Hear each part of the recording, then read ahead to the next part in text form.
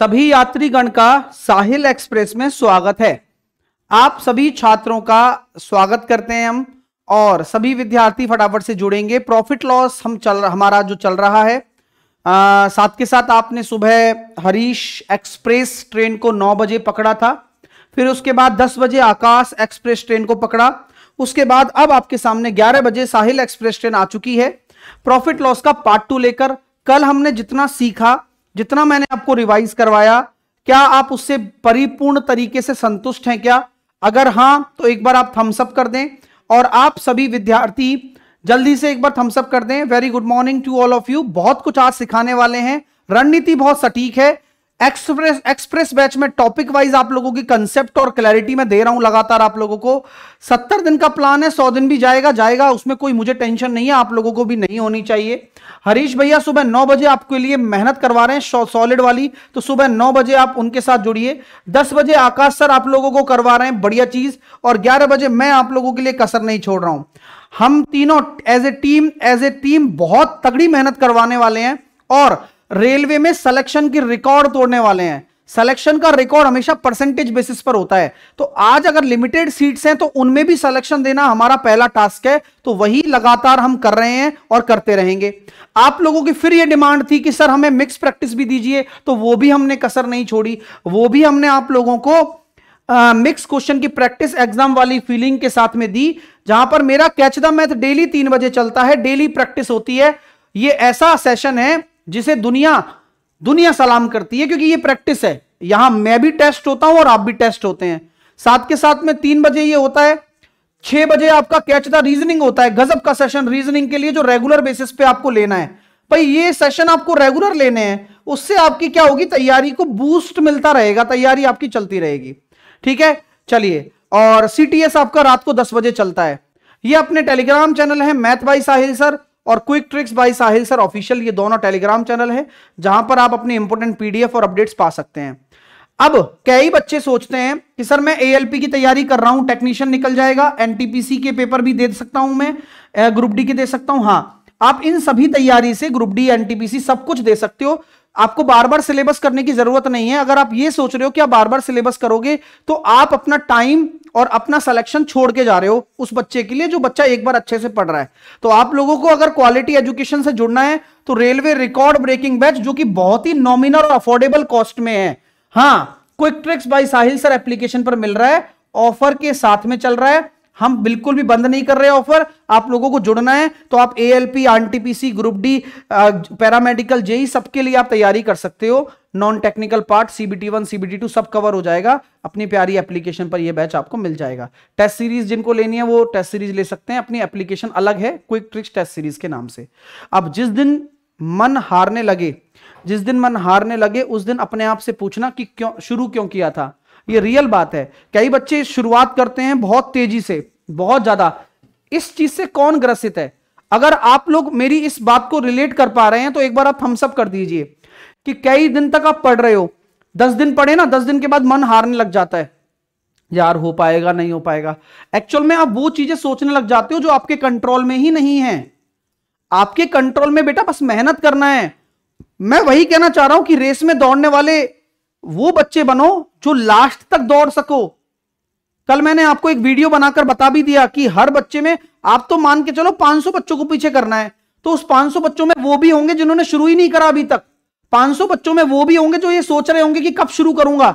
500 बच्चों में वो बच्चे भी होंगे जो ये सोच रहे होंगे, अभी तो बहुत दिन है, लास्ट के एक महीने वाला कोर्स ज्वाइन कर लूँगा, उसमें सिलेक्शन हो जाएगा।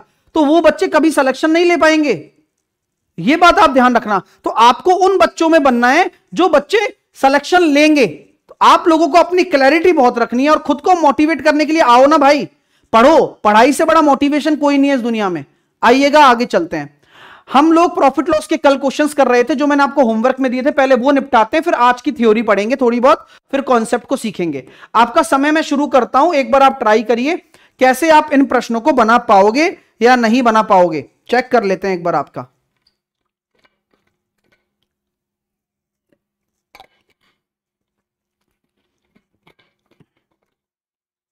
चलिए।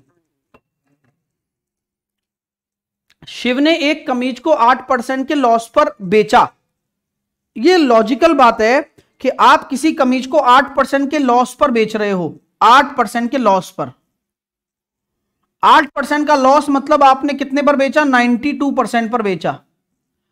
This is your selling price ninety two percent is equal to one eighty four hundred percent is equal to hundred percent is equal to hundred percent is equal to हो गया two hundred. Two hundred आपका क्या हो गया? आपका ये cost price हो गया। टू हंड्रेड आपका ये हो गया कॉस्ट प्राइस अब कॉस्ट प्राइस अगर दो सौ रुपये आपका हो चुका है तो पाँच परसेंट के लाभ प्राप्त करने के लिए तो दो सौ रुपये अगर आपका कॉस्ट प्राइस है और आपको पाँच परसेंट का लाभ प्राप्त करना है तो एक सौ पाँच बटे सौ करूँगा तो दो सौ दस रुपये आपका क्या हो जाएगा सेलिंग प्राइस हो जाएगा। ये आप लोगों को पता होना चाहिए। बहुत ही सही कॉन्सेप्ट है। आ, ऐसे कॉन्सेप्ट में जहाँ पर परसेंटेज दिया हुआ होता है तो पहले सबसे पहले हम एक चीज़ निकालते हैं कॉस्ट प्राइस कॉस्ट प्राइस हम क्यों निकालते हैं? क्योंकि हम हमेशा सेलिंग प्राइस से सेलिंग प्राइस पे नहीं जा सकते। हम कॉस्ट प्राइस इसलिए निकालते हैं क्योंकि यह रेफरेंस है। भाई, सारा का सारा जो रेफरेंस है, वो कॉस्ट प्राइस से ही बनता है और कॉस्ट प्राइस से ही आप अगली सेलिंग प्राइस पर जा सकते हो। अगला क्वेश्चन आपकी स्क्रीन पर फिर इसी कंसेप्ट पर है। एक बार आप ट्राई करिए please try please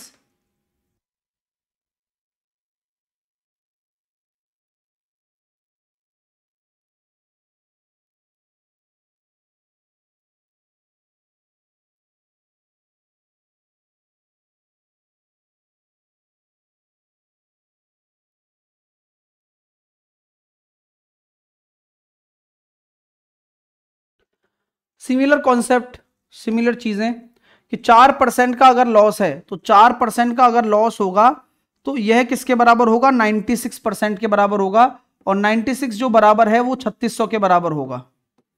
ठीक है? ठीक है कोई दिक्कत नहीं है।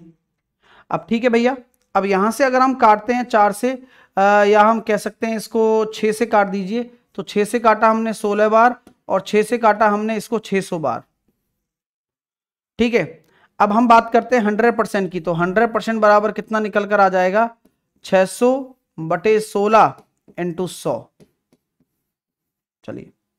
तो क्या हम ये कह सकते हैं क्या आप लोगों को कि चार चौके सोलह और पंद्रह चौके साठ और चार से काटा कितनी बार? पच्चीस बार। तो पंद्रह पाँच पचहत्तर, पंद्रह दूनी तीस और सात सैंतीस। तो सैंतीस सौ पचास रुपया। सैंतीस सौ पचास रुपया आपका क्या निकल कर आ जाएगा?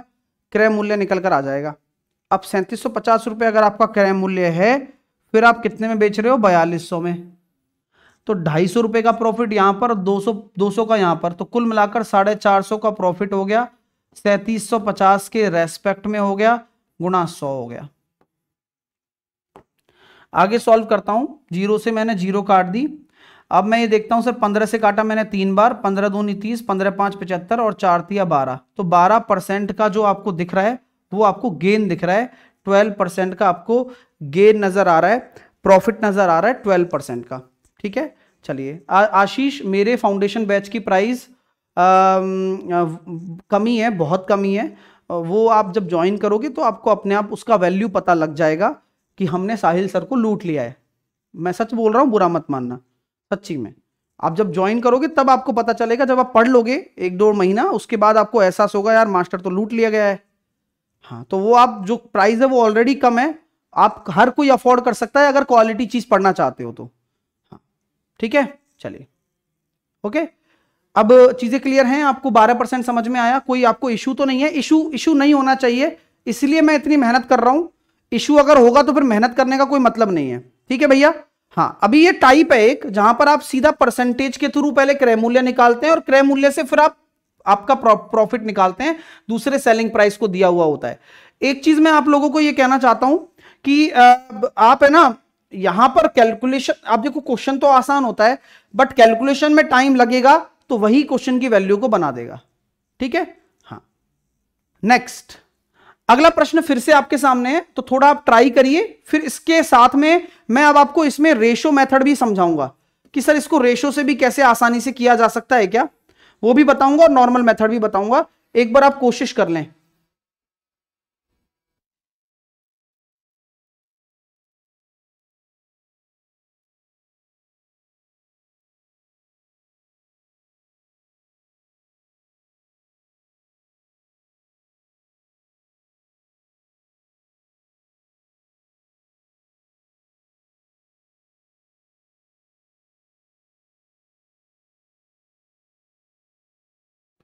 देखो, मैं आपको पूरा समझाता हूँ डियर है ना? पहले हम उसी मेथड से करते हैं जो पिछला सीखते हुए आ रहे हैं, क्योंकि धीरे धीरे सीखा जाएगा कि सर 25 परसेंट की हानि होती है। तो 100 में से 25 परसेंट की हानि होगी तो 75 परसेंट पर आप बेच रहे हो, और बेच रहे हो यानी कि 1350 के बराबर है। तो आपने देखा सर पंद्रह पाँच पिचहत्तर और पंद्रह नम्मा एक सौ पैंतीस। और यहाँ एक परसेंट बराबर हो गया अट्ठारह। और यहाँ पर हंड्रेड परसेंट बराबर हो गया कितना? अट्ठारह सौ। अट्ठारह दिस इज़ योर क्रय मूल्य। ठीक है। ये आपका क्रय मूल्य हो चुका है अट्ठारह सौ। अब अट्ठारह सौ अगर आपका क्रय मूल्य है तो आपसे ये क्या बोला जा रहा है कि 25 परसेंट का लाभ कमाने के लिए क्या करना पड़ेगा? तो 25 परसेंट का लाभ कमाने के लिए 125 बटे 100 करना पड़ेगा। This is desi method okay तो 18 इंटू एक अब कैलकुलेशन सिखाता हूँ थोड़ी बहुत, जो बच्चा सीखना चाहता है वो हाथ खड़ा कर ले। अब मुझे बताओ मेरे प्यारे दोस्तों क्या मैं इसमें से एक दो इसको उधार दे सकता हूँ क्या?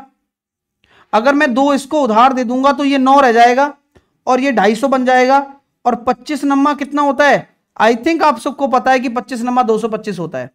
तो ये एक मेथड है जो आप इसको चूज़ कर सकते हो। मैं आपको कंपल्शन नहीं कर रहा हूँ कि आप इसी तरीके से करें। बट कोई बुराई नहीं है सीखने में।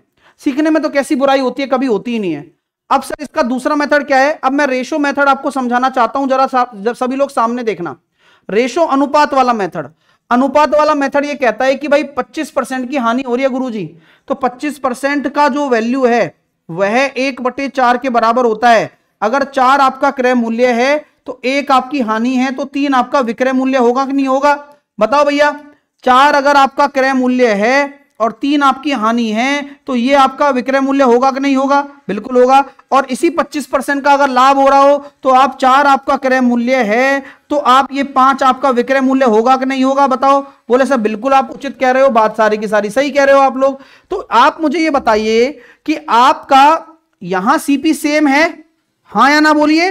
दोनों कंडीशन में कंडीशन नंबर वन में और कंडीशन नंबर टू में, क्या सीपी सेम है? आप बोलेंगे yes sir CP will be same अगर सीपी सेम है तो बस तीन बराबर आप क्या कर दो? तीन बराबर तेरह सौ पचास। और यहाँ से आ जाएगा तीन चौके बारह और तीन पंजे पंद्रह। तो पाँच बराबर कितना हो जाएगा? साढ़े चार सौ गुणा पाँच। तो ये हो जाएगा बाईस सौ पचास। कैसा लगा? आप कृपया करके बता सकते हो तो बता दो। कोई बात नहीं। ठीक है भैया? हाँ। अभी बच्चा कह रहा है, सर बुक लेनी है, कौन सी लू? शिवम सक्सेना। बुक मेरे पास भी है भाई। लेकिन मैं अपनी बुक को कभी बताता नहीं आप लोगों को। क्यों नहीं बताता हूँ? क्योंकि मैंने शायद हो सकता है कि आप नहीं समझते होंगे। ये मेरी बुक है जिसमें रेलवे मैथमेटिक्स की बुक है आपको ये फ्लिपकार्ट पर मिल जाएगी। इसमें सारे प्रीवियस ईयर क्वेश्चन है चैप्टर वाइज है। बेस्ट किताब है मोटी भी अच्छी खासी है इसमें पूरी प्रैक्टिस आपकी हो जाएगी। लेकिन मैं अभी बुक के लिए रिकमेंड आपको इसलिए नहीं कर रहा हूँ बाकी बा, बाकी कहे से तो आप मानोगे नहीं मेरी बात। मैं ये कहता हूँ कि भैया पहले बेसिक कवर करो प्रीवियस ईयर क्वेश्चंस में यहाँ कवर करवाऊँगा, इस बुक को भी मैं यहाँ सॉल्व करवाऊँगा। तो हर काम है ना, समय के हिसाब से होगा, लेकिन आप में से कई बच्चे आज ही सब खाना चाहते हैं तो वह एक साथ अपना पैसा ऐसी जगह खर्च कर देते हैं जिसका वो यूज़ ही नहीं कर सकते। क्योंकि आपको पता है कि तरीके, स्टेप बाय स्टेप प्रिपरेशन होती है हमेशा। अब कई बच्चा सबसे पहले बुक खरीदता है, फिर उसके बाद उसके मॉक टेस्ट लगाता है फिर वो मॉक टेस्ट लगाने पर उसके आते हैं चालीस नंबर फिर वो क्लास में आके कट ऑफ़ पूछता है। फिर कट ऑफ़ के बाद वो सोचता है, अरे यार कट ऑफ़ तो निकल ही नहीं रही है। फिर वो तैयारी शुरू करने के बारे में सोचता है। फिर वो तैयारी शुरू करता है तो वो दुनिया भर की क्लासेस में आता है तो फिर वो बोलता है, सर न्यू बैच कब आएगा न्यू बैच कब आएगा? वो न्यू बैच न्यू बैच की फिराक में ये सोचता है कि अगर नया बैच ही लेना है तो पेपर से पंद्रह दिन पहले ही लूँगा ना। क्यों? क्योंकि नया बैच लेना है उसको। तो ये उस बच्चे की सोच है जो अभी बुक के बारे में पूछ रहे हैं। जो जेनुअन बच्चा है, जो एक्चुअल बच्चा है, वो क्या करता है? वो सबसे पहले अपने सिलेबस को देखता है, उस सिलेबस की सब्जेक्ट्स को देखता है कि उसको क्या अच्छी लगती है और क्या आती है उसको। फिर वो चारों सब्जेक्ट का टाइम डिसाइड करता है कि मैं इस सब्जेक्ट को इस इस टाइम पढ़ूँगा और रेगुलर बेसिस पे पढ़ता रहूँगा। मैथ रीजनिंग जीके जीएस पहले पढ़ूँगा मैं। उसी की जो क्लास की प्रैक्टिस होती है, वो करूँगा, उसी की रिवीजन करूँगा, फिर रिवीजन रिवीजन सब हो जाएगा। तब मैं अगला स्टेप खुद सेल्फ प्रैक्टिस पे ऊपर आऊँगा, जहाँ मैं प्रीवियस ईयर क्वेश्चंस करूँगा। अगर सर करवा देंगे तो अच्छी बात है तो मैं वहाँ से प्रीवियस ईयर क्वेश्चन की प्रैक्टिस कर लूँगा। फिर उसके बाद में मैं एक्सपेक्टेड क्वेश्चंस करूँगा। अभी तक मैं खुद को जज नहीं करूँगा, फिर लास्ट के एक महीने में मॉक टेस्ट लगाऊँगा। तो ये वाली उसकी चीज़ें चलती हैं, ठीक है?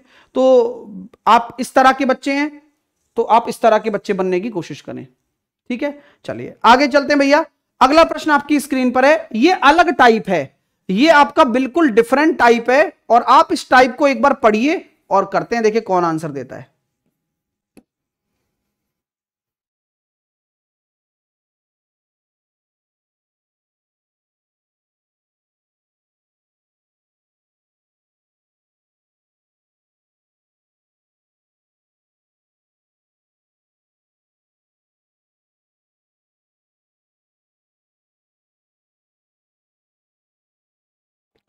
अब यहाँ इस कॉन्सेप्ट में क्या होता है कि एक व्यक्ति क्या कर रहा है भाई? एक व्यक्ति अपना 10 परसेंट के लॉस पर बेचता है। 10 परसेंट का लॉस यानी कि यहाँ अगर उसको 10 परसेंट का लॉस हो रहा है तो मैंने माइनस का 10 लिखा। और उसने उस वस्तु को अगर पिचहत्तर रुपए अधिक पर बेचा तो 10 परसेंट का प्रॉफिट हो गया। 10 परसेंट का प्रॉफिट हो गया। तो 10 परसेंट का लॉस और 10 परसेंट का प्रॉफिट तो यहाँ पर मैंने देखा कि कितना इंक्रीमेंट है। देखो, हमेशा क्या करोगे आप? पहले आप ज़ीरो पर आओगे। This is the zero layer तो यहाँ प्लस दस आओगे और फिर प्लस दस से प्लस दस पर जाओगे। तो जो डेविएशन आ रहा है, वो आ रहा है ट्वेंटी परसेंट का। अब ट्वेंटी परसेंट जो बराबर हो जाएगा आपके पचहत्तर रुपए के। ठीक है। पाँच से अगर मैं आपको गुणा कर रहा हूँ तो पाँच से मैंने आपका गुणा कर दिया। साढ़े तीन सौ और पच्चीस। तीन सौ पचहत्तर रुपया। ये क्या होता है?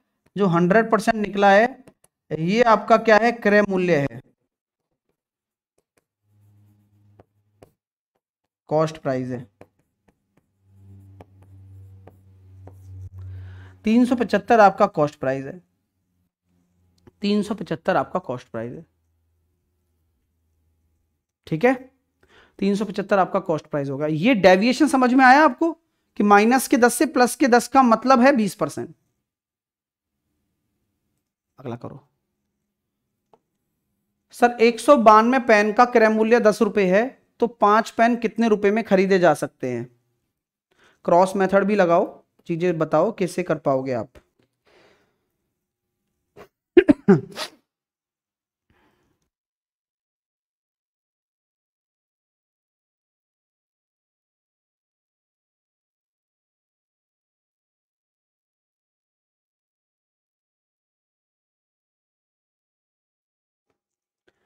एक सौ बानवे पेन का जो क्रय मूल्य है वो दस रुपए है तो पाँच रुपए में कितने पेन खरीदे जा सकते हैं?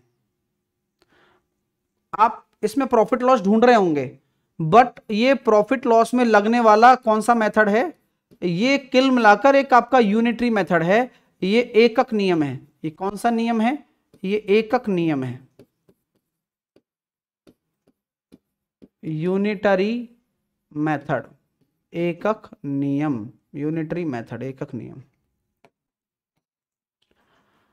एक सौ बानवे पेन का क्रय मूल्य दस रुपए। तो दस रुपए में एक सौ वन नाइन्टी टू पेन पाँच रुपए में कितने? नाइन्टी सिक्स पेन कितने पेन नाइन्टी सिक्स पेन खरीदे जा सकते हैं। अगला करो। दो सौ का क्रय मूल्य, इतना ही क्रय मूल्य पर ही बात चल रही है है ना? अभी कंफ्यूज मत होना, क्योंकि अगला जो टाइप आएगा, वो थोड़ा डिफरेंट आएगा। यूनिटरी मेथड है, क्योंकि यहाँ भी बच्चा कंफ्यूज हो जाता है।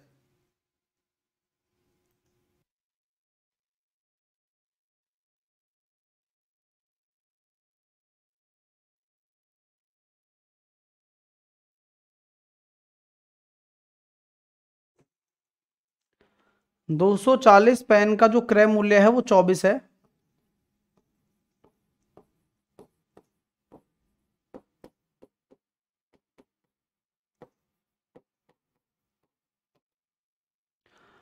एक पेन का जो क्रय मूल्य है, वो एक बटे दस है। तो आठ पेन का कितना है?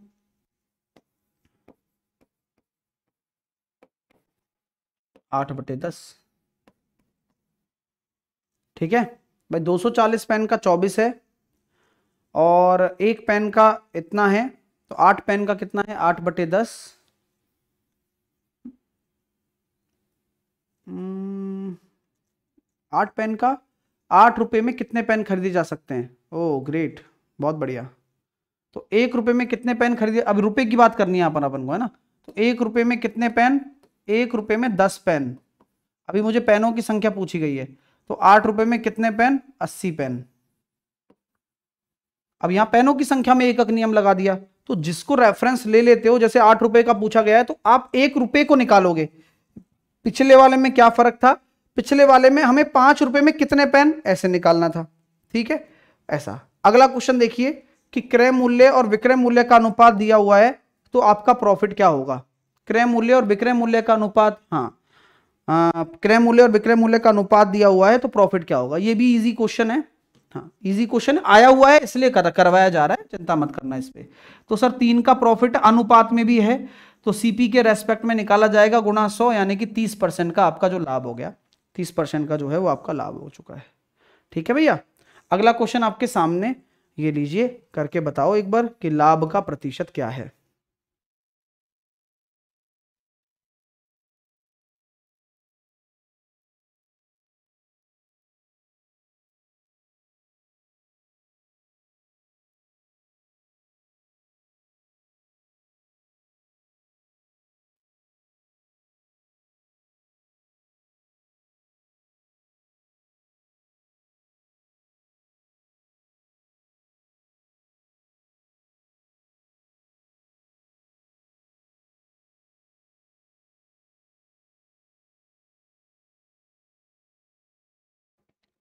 अब देखिए, एक मशीन का विक्रय मूल्य इसके क्रय मूल्य का, एक मशीन का विक्रय मूल्य इसके क्रय मूल्य का, यानी कि ये कितना है? चार बटे तीन। किसका क्रय मूल्य का? तो ये नीचे वाला आपका सीपी है और ऊपर वाला आपका एसपी है। तो आपका जो प्रॉफिट आ जाएगा वो कितना आ जाएगा? एक का प्रॉफिट है, तीन के रेस्पेक्ट में है गुणा सौ। यानी कि जो आपका लाभ प्रतिशत होगा वो तैतीस पॉइंट तैतीस हो जाएगा। ये कल तक का आपके कंसेप्ट थे जो सारे के सारे हमने सिखाए। अब चलते हैं आज की आज के कॉन्सेप्ट पर जो हम आज सीखने वाले हैं। सो so, आइए स्टार्ट करते हैं आज का टॉपिक जो हम आज बताएँगे आपको। ठीक है? देखो जनरली जो होता है प्रॉफिट और लॉस किस पर कैलकुलेट होते हैं? जनरली जो प्रॉफिट और लॉस है वो प्रॉफिट और लॉस हमेशा वैसे तो सीपी पर कैलकुलेट होते हैं। हमेशा कॉस्ट प्राइस या क्रय मूल्य या सीपी पर कॉस्ट प्राइस या क्रय मूल्य पर कैलकुलेट होते हैं। कैलकुलेट कैलकुलेट होते हैं। मतलब जनरली ये आपके कॉस्ट प्राइस पर ही कैलकुलेट होते हैं, देखा जाए तो। बट कभी कभी प्रश्न जो है, वो उल्टा काम कर देता है। प्रश्न क्या करता है कि भैया अच्छा कैलकुलेट कर रहे हो आप सीपी पर? नहीं होने दूँगा। वो ऐसा सोचता है। तो वो क्या करता है, एक क्वेश्चन आपके सामने दे रहा हूँ और उसके बिहार पर आप समझना। 20 परसेंट प्रॉफिट सेलिंग प्राइस पर, ऐसे बोल देता है। किसी वस्तु पर 20 परसेंट प्रॉफिट हुआ सेलिंग प्राइस पर। तो पूछ लिया जाता है तो एक्चुअल प्रॉफिट क्या है? उसको भी पता है कि वो गलत है। तो वो पूछा कि भाई गलती से किसी ने सेलिंग प्राइस पर प्रॉफिट कैलकुलेट कर दिया तो एक्चुअल प्रॉफिट परसेंटेज कितना है? एक्चुअल प्रॉफिट परसेंटेज कितना है? चलिए बताइए। तो नॉर्मली देखते हो तो 20 परसेंट का प्रॉफिट एसपी पर हुआ है बट क्वेश्चन उल्टा पूछ लिया कि एक्चुअल प्रॉफिट बता दो। क्योंकि सेलिंग प्राइस पर तो कभी प्रॉफिट होता ही नहीं है ना। ये सारी दुनिया जानती है इस बात को। तो यहाँ हम ये कह सकते हैं कि आप ये एक बटे पाँच लिखो, लिख दिया, और ये पाँच आपका सेलिंग प्राइस है, बहुत अच्छी बात है। एक आपका क्या है? प्रॉफिट है, ये भी बहुत अच्छी बात है। अब आप मुझे बताओ, अगर प्रॉफिट हो रहा है तो सेलिंग प्राइस तो ज़्यादा ही होगा कॉस्ट प्राइस से, और कितना ज़्यादा होना चाहिए? एक ज़्यादा। यानी कि अगर सेलिंग प्राइस अगर आपका पाँच है तो कॉस्ट प्राइस आपका चार होगा कि छह होगा? चार होगा। तो बच्चे गलती यहाँ कर जाते हैं। एक्साइटमेंट में गलती हो जाती है उनसे। ठीक है भैया? एक्साइटमेंट में गलती हो जाती है और होनी चाहिए भाई। तभी तो सीखने को मिलेगा। क्लियर है? एक बार आप थम्सअप कर दें भाई। लाइक वाइक नहीं करते हो तुम यार, हैं? इतनी मेहनत कर रहे हैं, इतनी चीज़ें पढ़ा रहे हैं। हाँ चलिए। तो क्या हम ये कह सकते हैं आप लोगों से कि जो अगर एक्चुअल प्रॉफिट की अगर आप बात करोगे तो एक्चुअल प्रॉफिट भी एक का है और सीपी कितना है? चार है। चार के रेस्पेक्ट में गुणा सौ। तो आंसर कितना आ जाएगा 25 परसेंट। यानी कि जो आपको 20 परसेंट दिख रहा था प्रॉफिट, वो एक्चुअल में 25 परसेंट है, क्योंकि आप क्रय मूल्य के सापेक्ष में निकालने की बात की गई है आपसे। अगर मैं इसी क्वेश्चन को आगे और देता हूँ कि 37.5 परसेंट का, सुन रहे हो बात? 37.5 परसेंट का प्रॉफिट हो रहा है प्रॉफिट सेलिंग प्राइस पर हो रहा है। प्रॉफिट सेलिंग प्राइस पर हो रहा है। तो आप मुझे एक्चुअल प्रॉफिट बता दो भाई। आप मुझे एक्चुअल प्रॉफिट बता दो भाई, क्या होगा? आप ट्राई करो भाई, देखते हैं। सब अपने अपने हिसाब से बहुत अच्छा पढ़ा रहे हैं बेटा, है ना?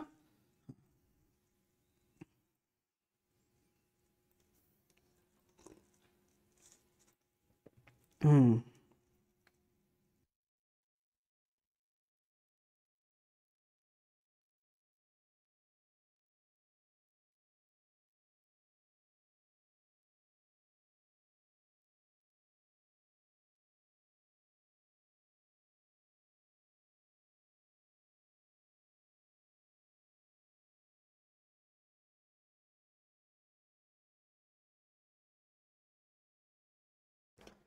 तो आपने ये नोटिस किया कि सर सबसे पहले सैंतीस पॉइंट पाँच परसेंट को मैंने लिख दिया तीन बटे आठ। ये सेलिंग प्राइस आपका होगा और ये आपका क्या होगा? प्रॉफिट होगा। तो सेलिंग प्राइस आपका अगर आठ है तो तीन अगर आपका प्रॉफिट है तो कॉस्ट प्राइस कितना है? कॉस्ट प्राइस आपका हो जाएगा पाँच। ठीक है? तो एक्चुअल प्रॉफिट कितना हो गया आपका? तीन। सीपी के रेस्पेक्ट में गुणा सौ। Sixty percent. Sixty percent. ऐसे होगा आंसर अब गलती मत करना भाई। क्यों करते हो गलती? अगला क्वेश्चन और देता हूँ। चौदह सही दो बटे सात परसेंट का अगर मान लीजिए लॉस हो रहा है सेलिंग प्राइस पर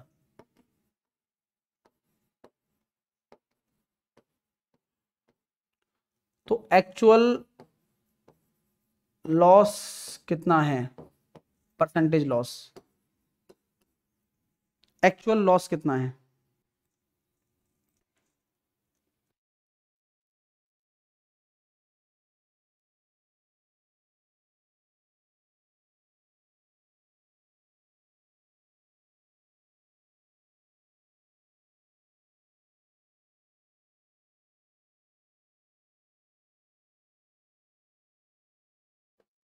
बहुत खूबसूरत मेरे प्यारे बच्चों, चलिए। यहाँ एक बटे सात है। ये सेलिंग प्राइस पर हो रहा है और ये आपका लॉस हो रहा है। यहाँ सेलिंग प्राइस है सात। कॉस्ट प्राइस क्या हो जाएगा भाई?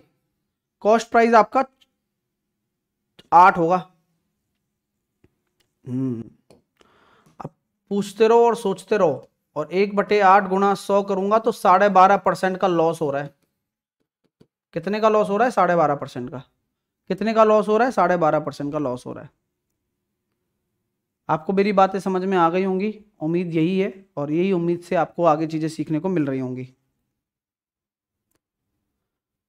बारह पॉइंट पाँच। अच्छा ये किसी को डाउट तो नहीं है कि हाँ आठ क्यों आया?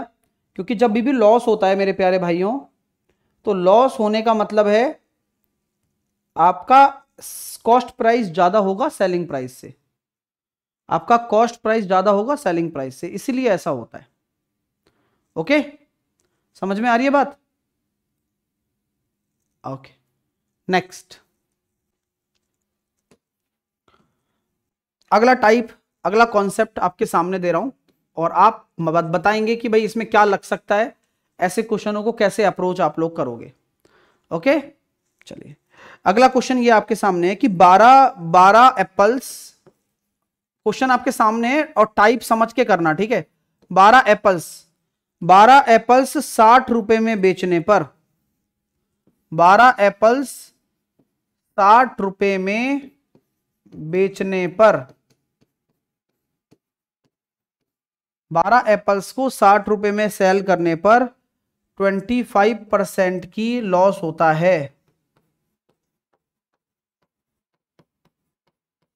ट्वेंटी फाइव परसेंट लॉस होता है। बारह एप्पल्स हैं, आप सिक्सटी रुपए में सेल आउट कर रहे हो तो आपको लॉस हो गया। अब आप बताइए कि ट्वेंटी फाइव परसेंट का लाभ कमाने के लिए ट्वेंटी फाइव परसेंट का प्रॉफिट अर्न करने के लिए ट्वेंटी फाइव परसेंट का प्रॉफिट अर्न करने के लिए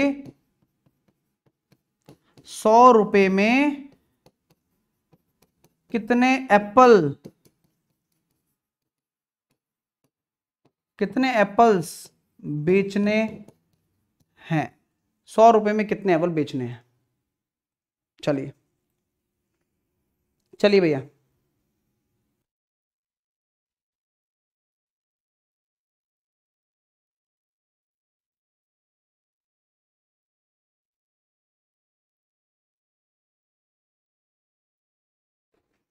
अरे प्रीतम, तुम आ गए क्या?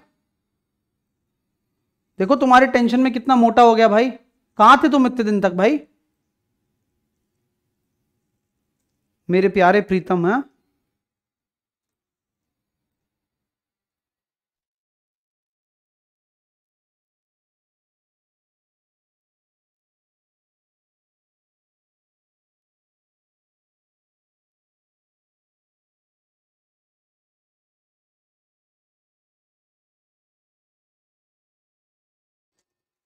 आओ भैया, आओ। अब ये भैया लॉजिक है, ये टाइप है, एक पूरा का पूरा टाइप चलता है इसका। टाइप चलता है टाइप ठीक है? अब वो टाइप कैसे होगा देखिए। बारह एप्पल्स साठ रुपए में बेचने पर पच्चीस परसेंट लॉस होता है। पच्चीस परसेंट प्रॉफिट अर्ज़ कर अर्न करने के लिए सौ रुपए में कितने एप्पल्स बेचने हैं? आपको बताना है। कितने एप्पल्स बेचने हैं? तो हमेशा ऐसे क्वेश्चन में एक मेथड काम करता है जो आपको सारी चिंताओं से मुक्त कर देगा। ऐसे मेथड को क्रॉस मेथड बोलते हैं। सर, ये मेथड कब लगता है? क्रॉस मेथड कब लगता है? Cross method quantity. सुनना मेरी बात। क्रॉस मेथड क्वांटिटी और प्राइस कंपैरिजन में लगता है। हमेशा हमेशा हमेशा। आप जब भी क्वांटिटी और प्राइस कंपैरिजन करोगे तब ये लगेगा। हाँ आइए देखिए कैसे लगता है देखते हैं। हमेशा जब क्वेश्चन करने जाओ तो दो तरह की प्रोफ़ाइल में बांट दो। आ, एक हिस्सा अलग एक हिस्सा अलग। हमेशा ये एक हिस्सा अलग है ये एक हिस्सा अलग है। बारह एप्पल साठ में बेचने पर पच्चीस परसेंट का लॉस होता है। एक एप्पल कितने रुपए में? एक एप्पल इतने में। क्या हो रहा है? पच्चीस परसेंट का लॉस यानी कि सेवेंटी फाइव परसेंट आपका सेलिंग प्राइस आ गया। ये एक हमेशा पर पर एप्पल कॉस्ट निकालनी है। पर एप्पल कॉस्ट क्या निकालनी है दोस्तों? आपको प्रति सेव की कीमत, पर एप्पल कॉस्ट और सेलिंग प्राइस और सौ रुपए में कितने? तो सौ रुपए में कितने? तो सौ। और कितने? अरे वही तो क्वेश्चन है। पच्चीस परसेंट का प्रॉफिट हो जाए तो एक सौ पच्चीस। पहली बात तो ये क्लियर हो गई क्या? भाई, यहाँ सेलिंग प्राइस की से कंपैरिजन कर रहे हो तो सेलिंग प्राइस से कंपेयर कर लो। क्योंकि वहाँ लॉस हो रहा है तो 75 यहाँ प्रॉफिट चाहिए तो 125 एक एप्पल कितने का? तो बारह बारह एप्पल साठ का तो एक एप्पल साठ बटे बारह का। तो सौ रुपए में कितने? एक्स निकालना है। क्या करोगे? क्रॉस मल्टीप्लीकेशन तो बारह पंजे साठ और 125 परसेंटेज गुणा पाँच बराबर 100 इंटू पिचहत्तर परसेंटेज ऑफ़ अपॉन एक्स। पच्चीस पंजे एक सौ पच्चीस पच्चीस तिया पिचहत्तर, पच्चीस चौके सौ, एक्स बराबर आ गया बारह। मज़े आ गए क्या? यानी कि आप सौ रुपए में बारह एप्पल बेच पाओगे बस। तो ये क्वालिटी है भाई। सर, तीन और पाँच कर दीजिए, वो कर लेंगे, वो छोड़ो आप। जो मैं सिखा रहा हूँ उस पर दिमाग लगाओ पहले। अभी अगर आप छेड़खानी करोगे तो फिर कंसेप्ट कमज़ोर हो जाएगा बेचारा। वो कहेगा, यार, ये मान ही नहीं रहे मेरी बात। है? तो आप उसको इस रेस्पेक्ट तो करो कंसेप्ट को। तभी तो वो आपको रेस्पेक्ट देगा। अगर आप ही नहीं करोगे तो क्यों देगा वो? है कि नहीं भाई? चलो भाई क्लियर हो जाए तो एक बार बता देना। नहीं समझ में आ रहा? कोई बात नहीं। कोई टेंशन नहीं है। दोबारा बताएँगे। अगला एग्ज़ाम्पल भी लेते हैं। ठीक है? हाँ। हम्म।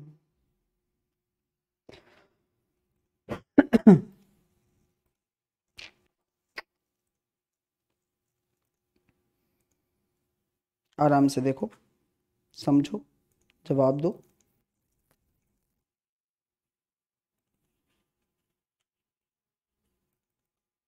हम्म।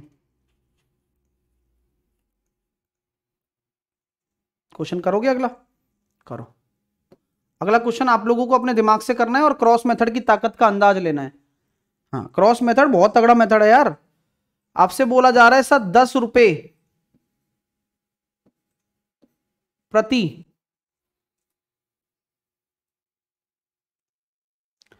दस हम्म, सात पेन दस रुपये में ना? या ये बोल सकते थे दस रुपये प्रति सात पेन। सात पेन दस रुपये में खरीद कर लाया।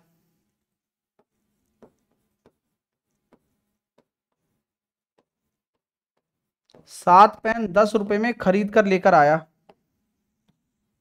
सात पेन दस रुपए में खरीद कर लेकर आया। है ना? बहुत बढ़िया।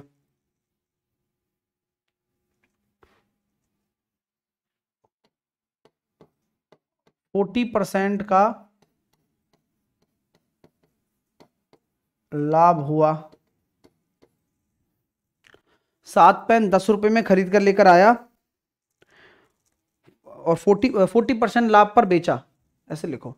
फोर्टी परसेंट के लाभ पर बेचा। फोर्टी परसेंट के लाभ पर बेचा। ठीक है? अब सात पेन दस रुपए में खरीद कर लेकर आया है, फोर्टी परसेंट के लाभ पर बेचा है तो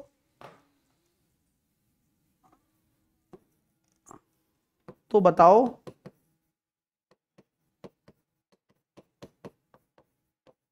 बीस रुपए में कितने पेन खरीद सकता है?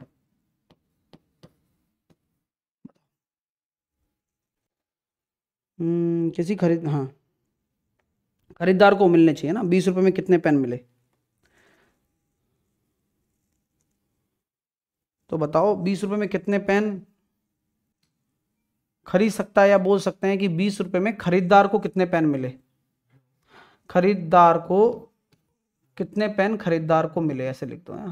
थोड़ा क्वेश्चन की लैंग्वेज को समझना होता है बस। रैंडम जब क्वेश्चन बनता है तो ऐसे ही बनता है। बहुत अच्छे यार। खींच दिया मीटर आपने। बहुत बढ़िया बहुत बढ़िया।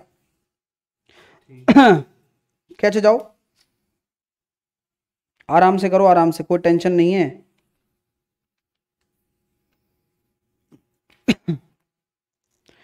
देखते हैं क्या आंसर आप लोगों का आता है। और जितना भी मैं देख पा रहा हूँ, मुझे काफ़ी ठीक लग रहा है। कि आपके आंसर ठीक आ रहे हैं भाई। जीत गए हो आप। तो यहाँ पर भी क्रॉस मेथड कामयाब रहेगा। क्रॉस मेथड कहता ही इसलिए, भैया, थोड़ा समझ लो, पढ़ लो, आ जाओ यार। चालीस परसेंट के लाभ पर बेचता है तो दस रुपए में खरीदार को कितना मिला? ये पूछा जा रहा है, बीस रुपए में। तो सात पेन, एक पेन कितने का? दस बटे सात का। ये खरीद हो रही है, खरीद कर लाया। चालीस परसेंट का लाभ है तो चालीस परसेंट को आप लिख सकते हो, पाँच से सात। लिख सकते हो, नहीं लिख सकते हो? देखो, यहाँ पर आप सीपी जब आप यहाँ कॉस्ट प्राइस ले रहे हो ना तो यहाँ आप सीपी लिख सकते हो। ये सात हो गया। तो अब बीस रुपए में आप कितने बेच रहे हो? वो निकालना है। अब यार भाई क्वेश्चन में दम है, आप विश्वास नहीं करते हो बस मेरी बात का। मुझे तो यही अफसोस लगता है। ये सेलिंग प्राइस है। और क्रॉस मेथड सबसे प्यारा मेथड इस दुनिया का सबसे प्यारा मेथड है ये। सौ बटे एक्स तो एक्स बराबर दस जिनका भी आंसर आ रहा है, वो दस पेन। तो मतलब आप उसको बेचोगे ना तो दस पेन बेचोगे आप उसको। सर जीडी एग्ज़ाम देकर आया हूँ। अब बताइए क्या हुआ उसमें? हाँ देखो, प्रत्यक्ष को प्रमाण की आवश्यकता नहीं होती है। आर्यन क्या कह रहा है? सर जीडी एग्ज़ाम दे आया, आपका ही करवाया हुआ क्वेश्चन आया था, सर। चलो, यहाँ भी सफल हुए। दिस इज़ माई विक्ट्री और यही जीत होती है एक टीचर की। हो हल्ला करने से काम नहीं चलता। काम ऐसा कराओ कि बच्चे अब ऐसे बोले आकर। चलिए। अरे बेसिक बेसिक नहीं ये मेथड है भाई। मैं बहुत तगड़ा मेथड सिखा रहा हूँ। तुम बात ही नहीं समझते हो मेरी। हाँ। अब काम बोलेगा। अब देखना कैसे कैसे बच्चे आते हैं और बोलते हैं, फिर आपको पता लगेगा। ठीक है? चलिए। अब आगे चलें। और करोगे क्या? और करोगे इस पे क्वेश्चन अगर करो तो ठीक है, नहीं तो फिर अगला कॉन्सेप्ट बहुत प्यारा है। हम्म।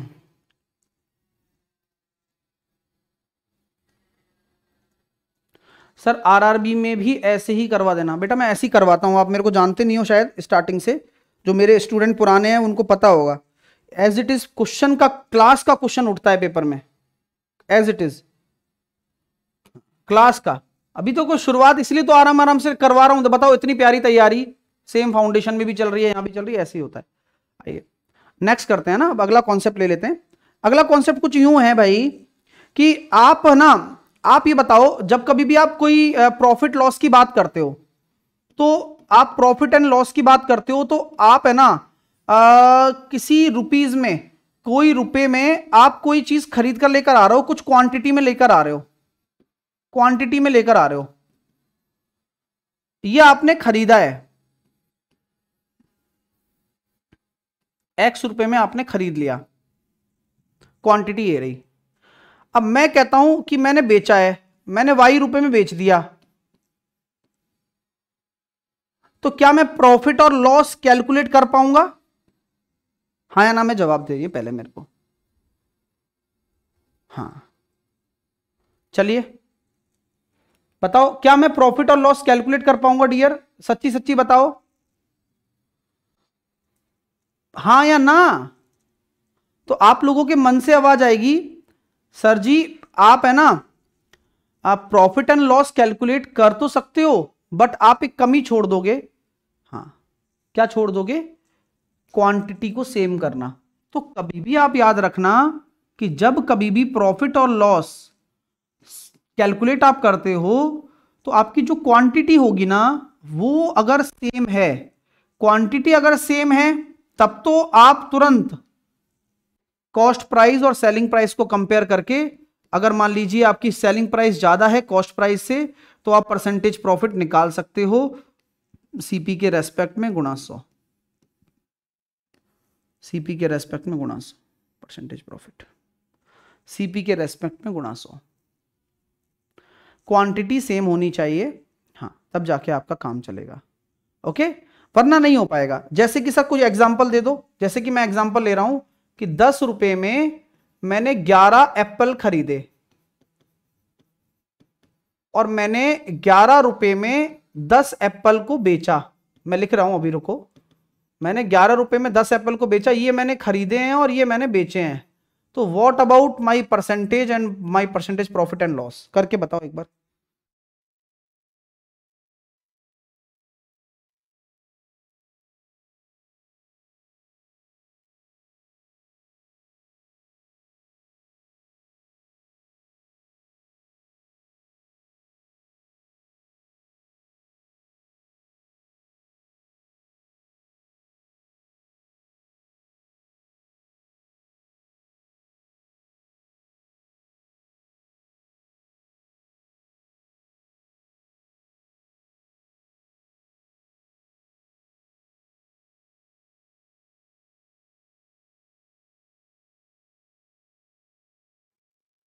देखो, अब इस तरह के क्वेश्चन में क्या होता है कि भाई आपको ये देखना है, सर, दस रुपये में आप कोई चीज़ खरीद रहे हो तो क्वांटिटी आप देख सकते हो कि यार 110 कर लो तो यहाँ आपने 10 का गुणा कर दिया तो 10 का गुणा करने पर सौ रुपये आपका क्रय मूल्य हो गया। यहाँ पर आपने 11 का गुणा कर दिया तो यहाँ भी 110 हो गया 11 का गुणा करूँगा तो 121 हो गया। तो अल्टीमेटली आप ये देख सकते हो कि भाई सौ रुपये तो आपकी खरीद है, और 121 में आप बेच रहे हो तो क्या हो गया? इक्कीस का प्रॉफिट सौ के रेस्पेक्ट में गुणा सौ। तो आंसर जो आ रहा है वो इक्कीस परसेंट आ रहा है। आंसर जो आ रहा है वो इक्कीस परसेंट आ रहा है। तो इक्कीस परसेंट आपका प्रॉफिट कैलकुलेट हो जाएगा। क्वांटिटी सेम करना ज़रूरी है। बिना क्वांटिटी सेम करे कर ही नहीं सकते हो आप। कर ही नहीं पाओगे बेटा। ठीक है? अब सर इसी लॉजिक के ऊपर और भी आते हैं क्या? हाँ एक डिफरेंट लॉजिक भी आता है, उस पर भी हम आज बात करेंगे आपसे। और वो अगला टाइप बनता है इसका। इसका एडवांस्ड होता है थोड़ा सा। वो बताता हूँ मैं आपको एक मिनट को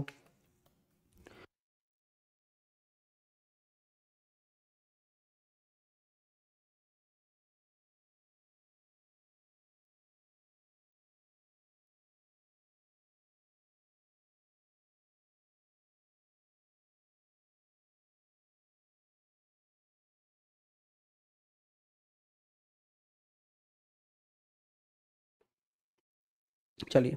अब एक क्वेश्चन क्या बनता है? एक फल विक्रेता दस रुपए में चार, दस रुपए में चार फल। एक फल विक्रेता दस रुपए में चार फल, ठीक है? और दस रुपए में पाँच फल। ये ऐसा चीज़ है कि भाई खरीद रहे हो आप, है ना? ये आपकी खरीद है। कभी कभी दो खरीद भी तो हो सकती हैं। अलग अलग टाइप के फल हैं।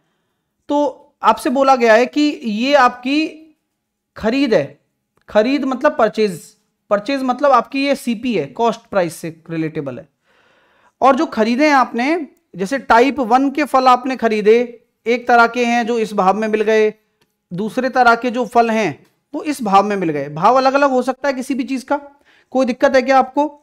लेकिन, और लेकिन ये बोला गया है कि ये भाव था, लेकिन आपने इनकी जो संख्या है वो बराबर है। मतलब आ, फलों दोनों टाइप के मैं लिख देता हूँ टाइप वन व टाइप टू टाइप वन और टाइप टू के आ, जो फलों की संख्या है जो टाइप वन और टाइप टू के फलों की संख्या है वह इक्वल होगी ये बात निश्चित है। टाइप वन और टाइप टू के जो फलों की संख्या है वो इक्वल होगी। टाइप वन व टाइप टू के फलों की संख्या जो होगी वो इक्वल होगी। ठीक है? अब हम क्या कहते हैं कि दोनों को मिलाकर, अब बेचने की बारी आई। बेचते समय बेचते समय बीस रुपए में नौ फल ऐसे बेचा आपने। बेचते समय आपने क्या किया? बीस रुपए में नौ फल के भाव से बेचा। तो आप ये मुझे बता दो, बीस रुपए में नौ फल बेचे, ठीक है? तो आप बताओ कि परसेंटेज प्रॉफिट होगा कि लॉस होगा कि क्या होगा? बता दो चलो यार। ये अच्छा टाइप है ये हाईएस्ट टाइप आता है आपके पेपर में है ना? हाँ। अभी डट तो जाओ यार। तो और आंसर निकाल दिया तुमने। सर स्पीड में बहुत धीरे धीरे चल रहा है। आ, तो क्या चाहते हो भाई टिंकू? हैं? मास्क हटा लो पहले।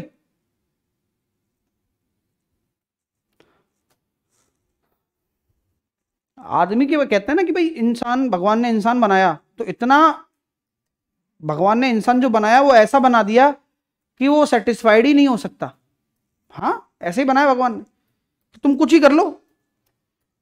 कई बच्चों को संतुष्टि तेज से मिलती है, कई बच्चों को संतुष्टि स्लो से मिलती है। बीच वाले जो होते हैं तो वो कहता तेज कराओ। तो आप सभी को संतुष्ट नहीं कर सकते। इसलिए वो बच्चे भटकते रहते हैं। है ही नहीं संतुष्टि कहाँ से लाए उसके? बताइए। अब उसको आराम से समझा रहे हैं, तभी भी उसका टिंकू जिया हो रहा है। उसको धीरे समझा रहे हैं तो उसको प्रॉब्लम है। फास्ट पढ़ाएँगे तो उसके काका को प्रॉब्लम हो जाएगी। तो ऐसी चलती रहेगी प्रॉब्लम्स तो इनका कोई इलाज नहीं है। सॉल्यूशन क्या है? अच्छा पढ़ा लो बस। ठीक है? सॉल्यूशन यही है, बस अच्छा पढ़ा दो। सीख लोगे तो गालियाँ थोड़ी कम पड़ती। नहीं समझ में आएगा तो ज़्यादा पढ़ेंगे। ठीक है? आइए। तो बात आती है समझ में कि सबसे पहले टाइप वन टाइप टू के फलों की संख्या को बराबर करना पड़ेगा खरीद में भी। तो पहले बताओ, यहाँ चार है और यहाँ पाँच है। इनको बराबर करना पड़ेगा। तो मैं ये कहना चाहता हूँ, सर, खरीद की निकाल रहा हूँ पहले। तो दस रुपए में आप चार फल ला रहे हो, ठीक है?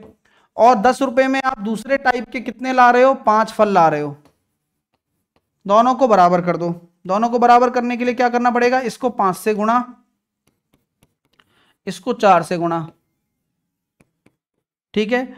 यानी कि पचास रुपये और चालीस रुपये तो नब्बे रुपये यहाँ लग गए और टोटल कितने फल आ गए? चालीस फल। ये बात आपको क्लियर है क्या? ये केवल खरीद खरीद आई है आपकी। इस चीज़ से कौन एग्री करता है कि नब्बे रुपए में चालीस फल मैं खरीद चुका हूँ? नब्बे रुपए में चालीस फल मैं खरीद चुका हूँ। ये क्या किया पहले मैंने? टाइप वन और टाइप टू टाइप वन और टाइप टू के फलों की संख्या को इक्वल किया मैंने, जो कि करना मेरा पहला काम है। बहुत अच्छी बात है, सर। यहाँ से कॉस्ट प्राइस आया। आप सेलिंग प्राइस क्या कहता है? सेलिंग प्राइस कहता है कि आप बेच कैसे रहे हो? बीस रुपए में नौ फल। तो क्या आप डायरेक्टली बेच पाओगे क्या? बताओ, अब क्या बाकी रह गया? तो अब बोले, गुरुजी, अब तो बेचने की बात आ रही है। तो यहाँ ये क्वांटिटी सेम होनी चाहिए अब। हाँ। ठीक है? ये सेम होनी चाहिए। तो यहाँ पर आ गया नौ से गुणा करना, यहाँ से आ गया चालीस से गुणा करना, जिससे कि आपकी सेटिंग बैठे। तो आपने यहाँ देखा कि सर 810 आपका क्रय मूल्य है और 800 आपका विक्रय मूल्य है। तो यहाँ लॉस हो रहा है 10 बटे 810 गुणा सौ का। तो ये बात बन गई कितनी? 100 बटे इक्यासी। तो परसेंटेज लॉस हो गया 100 बटे इक्यासी का। क्लियर है क्या भैया? चलिए। संजय, संजू बाबा कह रहे हैं, सर, इतने कम टाइम में एएलपी कवर हो जाएगा क्या? भाई वो तो तुम्हारे ऊपर डिपेंड करता है कि आप इस टाइम को कम मान के चल रहे हो। हाँ तुम्हारे ऊपर डिपेंड करता है कि इस टाइम को आप कम मान के चल रहे हो। अभी भी आप भटक रहे हो तो फिर ये समय भी पर्याप्त नहीं है। फिर आप लास्ट के 20 दिन में भी यही डाउट पूछोगे, सर 20 दिन में सिर्फ़ एएलपी निकल जाएगा क्या? आपको भी पता है कि आपकी छटनी तो संभव है ही। और आप अपना जो गड्ढा है, वो अगले साल के लिए भी खोद के रखोगे। क्योंकि आप यही प्रश्न, जब अगले साल का नोटिफिकेशन आएगा जनवरी में, तभी भी आप यही प्रश्न पूछोगे, सर, इतने कम टाइम में तैयारी हो जाएगी क्या? लेकिन आप एक काम जो ज़रूरी है, तैयारी शुरू करके, शुरू करना, वो नहीं कर पाओगे। क्योंकि फिर आपका जब एनटीपीसी आ जाएगा, तब आप ये पूछोगे मेरे से कि, सर, इतने कम टाइम में तैयारी हो जाएगी क्या? वो आप बिल्कुल उसी टाइम पर आके पूछोगे।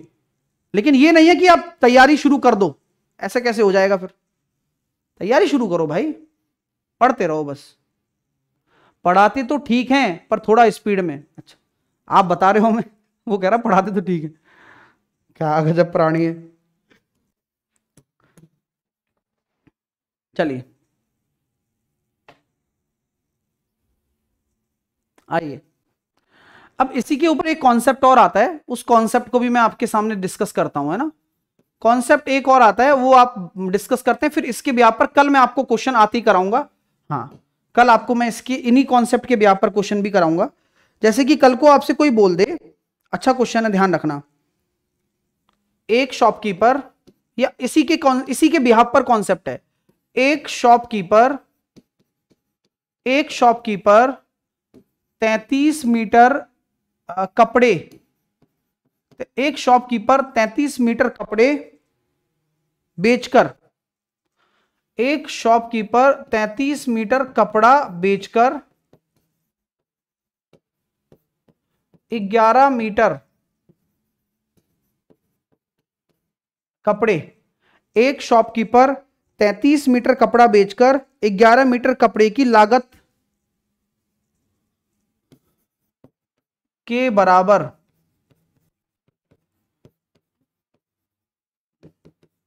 प्रॉफिट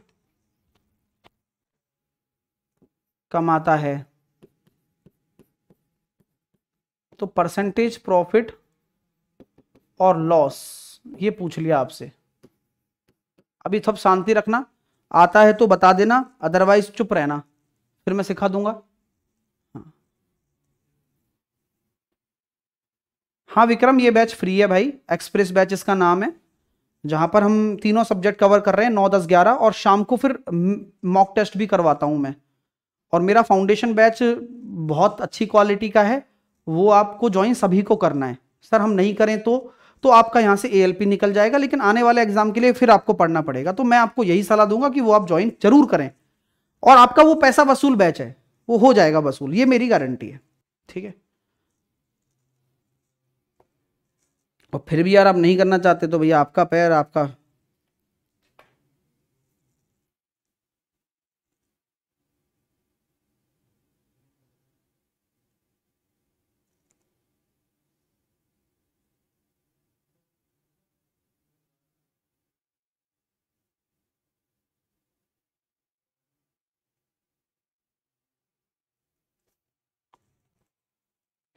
एक शॉपकीपर 33 मीटर कपड़ा बेचकर 11 मीटर कपड़े के बराबर प्रॉफिट कमाता है सर तो प्रॉफिट कमा रहा है ना बेचारा?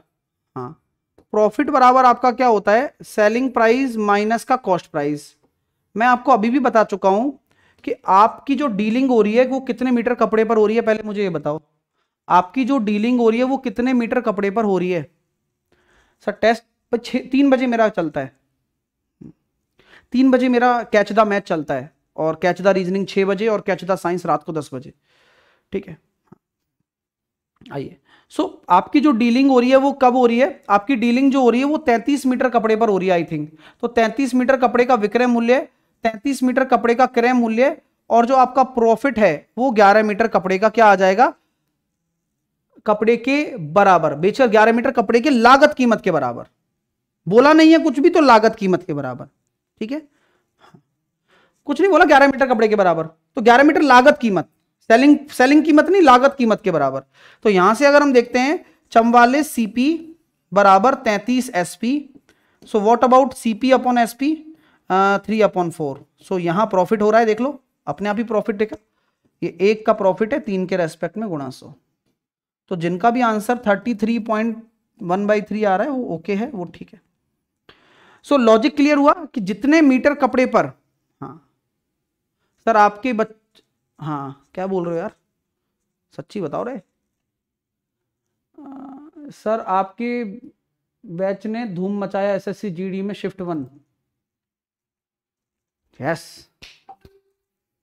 चलिए। नेक्स्ट एक क्वेश्चन और इस पर करते हैं, फिर आप लोगों से विदा लेते हैं। एक क्वेश्चन और इसके ब्याह पर करेंगे, फिर इसके टाइप हम बाकी कल भी करने वाले हैं, चिंता मत करो। सौ पेंसिल बेचने पर बीस पेंसिल के विक्रय मूल्य के बराबर लाभ होता है। कोई व्यक्ति सौ पेंसिल बेच रहा है, सौ पेंसिल बेचने पर बीस पेंसिल के विक्रय मूल्य के इक्वल प्रॉफिट होता है। विक्रय मूल्य की कुल प्रॉफिट होता है तो परसेंटेज प्रॉफिट क्या होगा?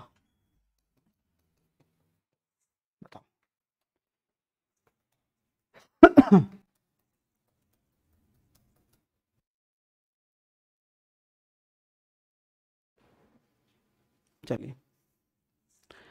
तो आप 100 पेंसिल को सेल आउट कर रहे हो और आपका जो प्रॉफिट ही हो रहा है तो वो 20 पेंसिल के सेलिंग प्राइस के इक्वल हो रहा है। तो आप हंड्रेड पेंसिल्स को बेचोगे और हंड्रेड पेंसिल्स को आप खरीदोगे सो आपका यहाँ से हंड्रेड का CP is equal to eighty का एसपी हो जाएगा और सीपी और एसपी का जो रेशो निकल कर आएगा, वो 20 चौके 80 और 20 पंजे 100 there is some profit one upon four into hundred twenty five percent का प्रॉफिट मैं आपको फिर बोलता हूँ कि जितने पर डीलिंग हो रही है, उतना ही आपको सेलिंग और उतना ही कॉस्ट लेना है। और फिर जो प्रॉफिट हो रहा है, लॉस हो रहा है, वो आपको देखो क्वेश्चन में दिया हुआ है, बीस के सेलिंग प्राइस के इक्वल। इक्वेशन बनाइए, आंसर पाइए। आज का सेशन कैसा लगा? आप लोगों से सुनना चाहता हूँ, आप लोगों के कमेंट के बिहाफ पर मैं जज करना चाहता हूँ मेरे इस प्यारे से सेशन को। लाइक, शेयर में मैं कमी नहीं चाहता। प्यार में मैं कमी नहीं चाहता और आप मेरी मेहनत में भी कभी कमी देखेंगे ही नहीं। आप आप दस दिन बाद भी अगर पढ़ने आ रहे हैं तो भी मैं यही मिलूँगा। क्योंकि मेरा काम कंसिस्टेंट है, मेरा काम सिलेक्शन देने वाला है। आप लोग अगर लेने वाले हैं तो आप भी कंटिन्यू रहेंगे। अगर आप लेने वाले सिलेक्शन लेने वाले नहीं है तो आप भी भटकते रहेंगे। ये रियलिटी है। आप खुद को जज कर सकते हो। अगर आप खुद के लिए ईमानदार हो तो आपको कोई रोक सकता है सिलेक्शन लेने से। कोई माई का लाल नहीं है जो रोक जाए भाई। ये गारंटी है। आप अगर ईमानदार हो तो। आप अगर खुद ईमानदार नहीं हो तो फिर कोई बात ही नहीं है। और इसलिए मैं कॉन्फिडेंटली बोल पाता हूँ कि बच्चा पढ़ो बस। सिलेक्शन अपने आप होगा। बस पढ़ो। पढ़ो बस। ठीक है? तो आज के लिए इतना ही। कल हम इनके क्वेश्चंस करेंगे अगली फ़ाइल में। आप टेस्ट सीरीज़ हमारी टेस्ट सीरीज़ वाली एप्लीकेशन से ले सकते हैं, जो कि quick tricks test series application है। साथ के साथ में हमारी जो रणनीति है, जहाँ हम टॉपिक वाइज आपको पढ़ा रहे हैं, जो कि फ्री पढ़ा रहे हैं यूट्यूब पर पढ़ा रहे हैं नौ बजे आपके हरीश भैया क्लास लेते हैं, दस बजे आपके आकाश सर क्लास लेते हैं सुबह, और ग्यारह बजे मेरी तीसरी क्लास साहिल एक्सप्रेस चलती है। आप चैनल से जुड़े, आप चैनल को सब्सक्राइब करें, यहाँ नहीं, अभी और सुनिए, आपकी मिक्स क्वेश्चन की प्रैक्टिस एएलपी और रेलवे के एग्ज़ाम से रिलेटेड प्रैक्टिस फीलिंग एग्ज़ाम वाली देने के लिए फुल तैयारी फुल मार्क्स की तैयारी के लिए आपके लिए प्रैक्टिस बैचेस भी चल रहे हैं, जो कि फ्री है यूट्यूब पर, जो कि तीन बजे चलता है दोपहर में मैथ का छह बजे रीजनिंग का और दस बजे आपको साइंस का। आप भटकना चाहें तो आप भटकिए बट क्वालिटी तो यही है और कहीं नहीं है। ठीक है? आप लोग जुड़िए हमारे साथ में। साथ के साथ ये टेलीग्राम चैनल है जहाँ पर मैं पीडीएफ डालूँगा। मैथ बाई साहिल सर हाँ, अगर आप अच्छे से कवर करना चाहते हैं बेसिक तो मैं आज भी आपको बोलूँगा कि आप एएलपी भी निकालोगे, आप टेक्नीशियन भी निकालोगे, आप एनटीपीसी ग्रुप डी जेई सब निकालोगे आप। आपको कोई शॉर्टकट नहीं अपनाना, मेहनत करनी है, तब जाके सफलता मिलेगी। Join my railway foundation batch VOD और लाइव दोनों में है। अभी चल रहा है लाइव और आपको जो हो चुकी हैं क्लासेस वो रिकॉर्डेड में मिलेंगी। काफ़ी दिन से चल रहा है, क्योंकि क्वालिटी मेंटेन करके चल रहा हूँ। मात्र छह सौ निन्यानवे में ये आज रात को अवेलेबल है। आप ले लीजिएगा ALP technician NTPC group D आज रात तक ये चलेगा आपका। ऑफ़र में कंटिन्यू रख रहा हूँ, मुझे कोई दिक्कत नहीं है रखने में। बस आप लोगों को टाइम नहीं लगाना जुड़ने में, क्योंकि फिर आपके पास कंटेंट तो होगा, लेकिन आपके पास समय नहीं होगा। वो भी फिर बेकार काम है। आपको पढ़ना है, आपको पढ़ाई शुरू से स्टार्ट करनी है, जो लाइव चल रहा है वो सुबह नौ बजे आ सकता है। अभी एडवांस में पूरी बाकी है तो उसमें भी बहुत मज़ा आएगा। अगर आप पूरा आरआरबी लेना चाहते हैं, जहाँ सारी सब्जेक्ट की टेंशन खत्म करना चाहते हैं तो आप रेलवे रिकॉर्ड ब्रेकिंग बैच ले सकते हैं, जो कि हमारी एप्लीकेशन पर एक बैच है। ये भी आपको ऑफ़र में अभी मिल रहा है। ऑफ़र कूपन में मिलता है, कूपन वहीं लगा हुआ है आपके, है ना, एप्लीकेशन पर ही। अलग अलग भी ले सकते हैं। अपनी एप्लीकेशन पर जाएँगे पेड कोर्स के अंदर, आपको आरआरबी लेना है तो आरआरबी ले लो, जिसमें सारे बैच हैं, और अलग अलग के सारे बैच, जैसे कि मैथ, रीजनिंग, साइंस और जीके, चारों मिल जाते हैं। सस्ता पड़ता है, बच्चा जो तैयारी करता है। उसको बाई नाव पे जाना होता है तो ऑफ़ कूपन लगा देना बस, और अलग से लेना है तो अलग वाला कूपन भी है तो हर किसी का ऑफ़र चालू है। पढ़ाई करो, कोई अगर क्वेरी है तो इस नंबर पर आप कॉल कर सकते हो व्हाट्सअप कर सकते हो, इस नंबर पर। और दिन दिन में किया करो भाई, रात को दस बजे फ़ोन करोगे, ग्यारह बजे फ़ोन करोगे, छह बजे, सात बजे फ़ोन करोगे तो कोई नहीं उठाएगा, क्योंकि ऑफ़िस टाइम में उठता है कॉल तो eight double zero five six six three one zero one ठीक है? चलिए, और ये अपनी एप्लीकेशन है quick tricks by Sahil sir इसको डाउनलोड कर लो और जुड़ जाओ। चैनल को सब्सक्राइब कर लो, लगातार क्लासेस के लिए, जिससे कि हर अपडेट आप तक पहुँच सके, हर क्लास आपको मिल सके। बेसिक साइंस और इंजीनियरिंग भी आपकी शुरू हो जाएगी, आप बिल्कुल टेंशन मत लो। ठीक है? जय हिंद, जय भारत, वंदे मातरम। मिलते हैं आपसे अगले सेशन में। ढेर सारा प्यार दीजिए, ढेर सारा सपोर्ट कीजिए। Bye bye